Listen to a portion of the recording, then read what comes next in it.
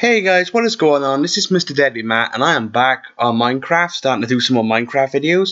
And this is one of my old builds I've been doing. Um, this was back last Halloween in uh, 2013. But anyway, guys, I thought I'd show you this. This is pretty cool. I like it. I like creating gory stuff when it comes to Minecraft to get a bit creative. And obviously, you got the leg there with the handcuff. You've got the saw. And you got um, Steve with his leg cut off it's based from the movie Saw, the first one. And uh, yeah, tell me what you guys think of this. This is something I did last Halloween. Uh, this is on my Halloween map as well, just to let you guys know. Uh, from last year, but I really wanted to do a video on this. Uh, just to show you. Um, behind me there is more Halloween stuff, as you can see.